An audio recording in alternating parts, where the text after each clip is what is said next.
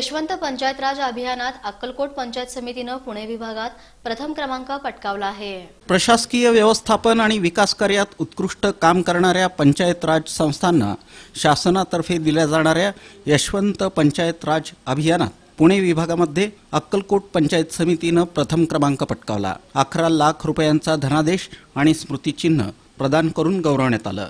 हा पुरस्कार वितरण सोहळा पुणे इथं विधान भवन सेंट्रल हॉलमध्ये विभागीय आयुक्त डॉक्टर चंद्रकांत पुलकुंडवार यांच्या हस्ते पार पडला. अक्कलकोट पंचायत समितीच्या वतीनं उपमुख्य कार्यकारी अधिकारी अमोल जाधव गटविकास अधिकारी सचिन खुडे यांनी हा पुरस्कार स्वीकारला. यावेळी पुणे जिल्हा परिषदेचे मुख्य कार्यकारी अधिकारी रमेश चव्हाण सातारा जिल्हा परिषदेचे मुख्य कार्यकारी अधिकारी याशनी नागराज उपायुक्त विकास विजय मुळीक उपायुक्त आस्थापना राहुल साकोरे विभागातील सर्व अतिरिक्त मुख्य कार्यकारी अधिकारी प्रकल्प संचालक उपमुख्य कार्यकारी अधिकारी प्रशासन उपस्थित होते.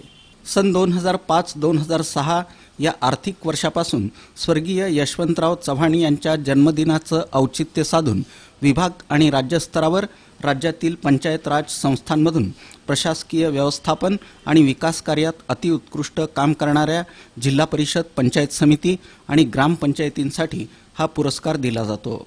गेल्या वर्षात लोकहितासाठी केलेली विकासकामं प्रशासकीय कामकाज आस्थापनाविषयक कामकाज केंद्र आणि राज्य पुरस्कृत विविध योजनांची अंमलबजावणी या कामकाजाचं मूल्यांकन विभागीय स्तरावरून आणि राज्यस्तरावरून केलं जातं.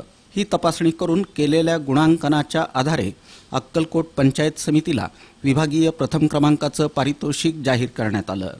या पुरस्कार सोहळ्याला तालुका वैद्यकीय अधिकारी डॉक्टर अश्विन करजखेड प्रशासनाधिकारी दयानंद परिचारक विस्तार अधिकारी महेश भोरे वरिष्ठ सहाय्यक सिद्धय्या मठ गणेश ग्राम हेमंत ऐवळे यांची उपस्थिती होती.